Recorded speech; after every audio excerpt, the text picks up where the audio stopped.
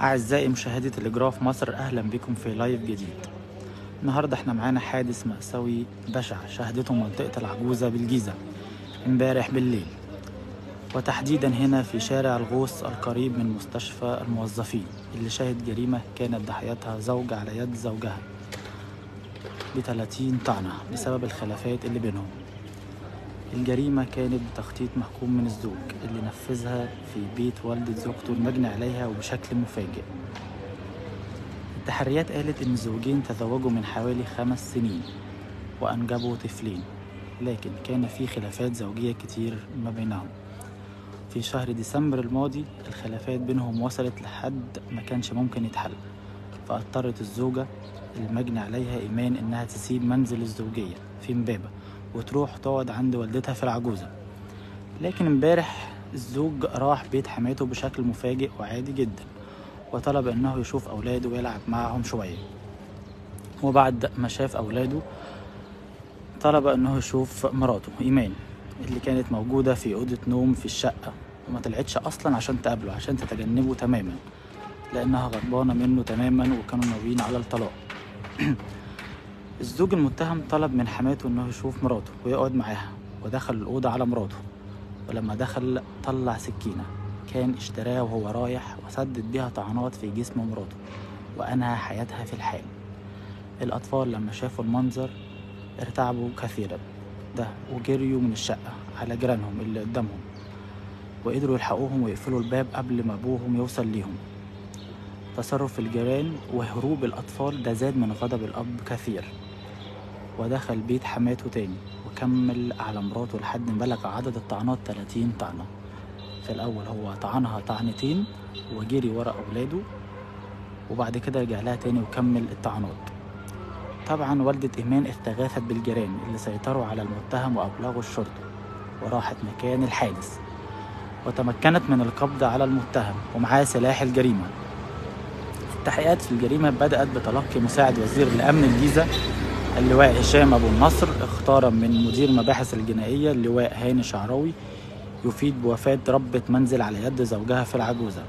على الفور انتقل رئيس قطاع شمال الجيزة العميد عمرو حجازي ورئيس المباحث المقدم حسام العباسي إلى مكان الواقع التحريات كمان قالت أكتر من حاجة.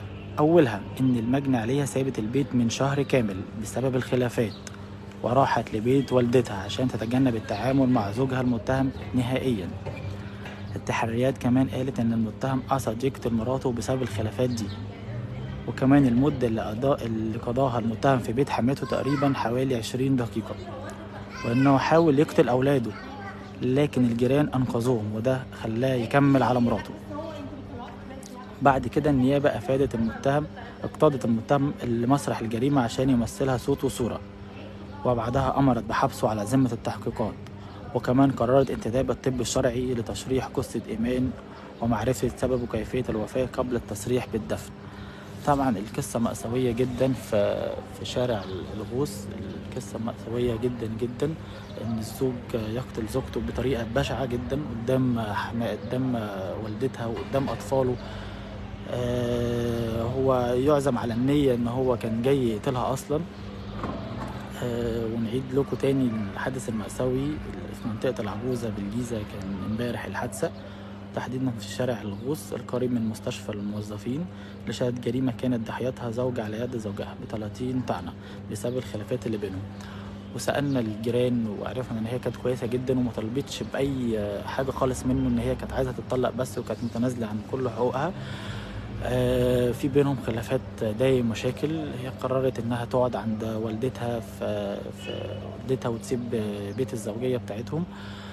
وهو برضو لم يسيبها في حالها وجي وتهجم عليها في الشقة. وهو كان داخل عادي يطمن على أولاده ودخلوه عادي يبص على أولاده ويشوفهم مفيش أي حاجة خالص. آه طبعا هما مش عارفين إن هو كان جاي يقتلها وكان مخبي السكينة في جوه ملابسه.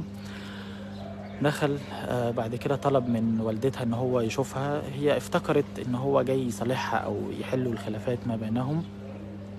فدخلته جوه سمحت له بالدخول ودخلت جوه. آه طبعا ما كانش فيه أي نية خالص ولا توقع منها ولا من والدتها إن هو يعني يتصرف بالطريقة دي. وهو موظف ومتعلم فدخل عليها فطعنها طعنتين. بعد كده طبعا هي توفت على طول فهرب الأطفال والأم بدأت تستغيث جدا. الأطفال آه، هربوا لسكانهم الجيران اللي أمامهم على طول. الجيران أخدوهم عندهم على طول وقفلوا الباب قبل ما يوصل ليهم. طبعا ده آه، خلاه يغضب كتير جدا فراح تاني وكمل عليها لحد ما وصل عدد الطعنات 25 طعنة آه، بلا رحمة. وفضل يقتل يقتلها كتير وصل عدد الطعنات في ال- في التحريات 30 طعنة جدا. ودي العمارة اللي شهد فيها الحادث المأساوي. طبعا لما والدتها فضلت تستغيث بالجيران ال- الناس الجيران وكل الناس اللي حاولوا دخلوا جوه طبعا ومسكوه وهو حاول الهروب. ولكن فشل طبعا إن هو يهرب بسبب الجيران. آه، مسكوه وتحفظوا عليه لغاية لما جت ال- الشرطة والإسعاف جت. طبعا الحادث كان مأساوي جدا جدا. وكمان هي كانت سايبة ال- البيت بيت زوجها من حوالي شهر. آه، وللأسف حصل الحادثة المأساوية دي طبعا. طبعا والدة إيمان استغاثت بالجيران اللي سيطروا على المتهم وأبلغوا الشرطة على في الحال وراحت مكان الحادث وتمكنت من القبض على المتهم ومعاه سلاح الجريمة السكينة. التحقيقات في الجريمة بدأت بتلقي طبعا مساعد الوزير لأمن الجيزة اللواء هشام أبو النصر اختارا من مدير المباحث الجنائية اللواء هاني شعراوي يفيد بوفاة ربة منزل على يد زوجها في العجوزة. وعلى الفور انتقل رئيس قطاع شمال الجيزة العميد عمرو حجازي ورئيس المباحث المقدم حسام العباسي إلى مكان الواقعة التحريات كمان قالت أكتر من حاجة أنا بعيد لكم تاني التفاصيل. أولها إن المجني عليها سابت البيت من شهر كامل بسبب الخلافات وراحت لبيت والدتها عشان تتجنب التعامل مع زوجها المتهم نهائيا. التحريات كمان قالت إن المتهم قصد يقتل مراته بسبب الخلافات دي. وكمان المدة اللي قضاها المتهم في بيت حماته تقريبا 20 دقيقة وإنه حاول يقتل أولاده لكن الجيران أنقذوه وده خلاه يكمل على مراته بعدد الطعنات بعد كده النيابة أفادت المتهم لمسرح الجريمة اقتدته إلى مسرح الجريمة عشان يمثلها صوت وصورة وبعدها أمرت بحبسه على ذمة التحقيقات وكمان قررت آه، انتداب الطب الشرعي لتشريح جثة إيمان ومعرفة سبب وكيفية الوفاة قبل التصريح بالدفن. طبعا ده شارع ال- الغوص وهناك مستشفى الموظفين ودي العمارة اللي حصلت فيها الحادث المأساوي.